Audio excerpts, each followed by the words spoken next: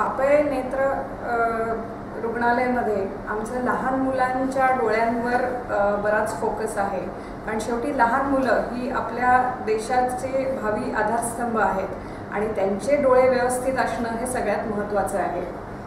आणि बऱ्याचदा असं समजलं जातं की लहान मुलांचा डोळा हा मोठ्या माणसांच्या डोळ्याचीच छोटी आवृत्ती आहे. पण तसं लहान मुलांचे डोळ्याचे विकारच वेगळे असतात.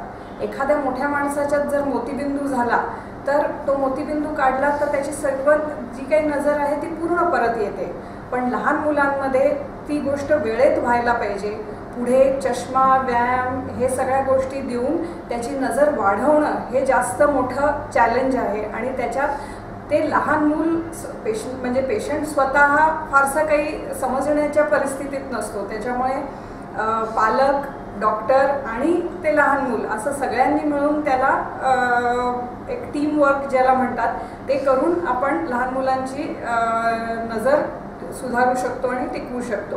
तर त्या दृष्टीने आम्ही अवेअरनेस प्रोग्रॅम्स जे म्हणतो त्या ह्याच्यावर खूप भर देतो. त्याच्यासाठी मी बऱ्याच शाळांमध्ये जाऊन लहान मुलांच्या डोळ्याची काळजी कशी घ्यावी ह्याच्यावर बरेच लेक्चर्स घेतलेले आहेत. शासकीय निमशासकीय शाळांमध्ये महानगरपालिकांच्या शाळांमध्ये आणि इवन प्रायव्हेट स्कूल्समध्ये त्यानंतर एक सामाजिक बांधिलकी म्हणून आम्ही ह्या अशा सर्व शाळांमध्ये जाऊन स्कूल स्क्रीनिंग ज्याला म्हणतात तशा टाईपचे तपासणीचे उपक्रम करतो. आज देशदूततर्फे हा जो कर्मयोगिनी पुरस्कार दिला जात आहे त्याच्यासाठी माझं नामांकन झालं. हा माझ्यासाठी खूपच अभिमानाचा विषय आहे. दे- आपल्या देशात आपल्या गावात अशा बऱ्याच महिला असतात की ज्या आपल्या खूप काम करत ते काम लोकांपर्यंत पोचणं त्या अ, कामाची दखल घेणं हे देशदूत सार सारखे वर्तमानपत्र हे करतायत.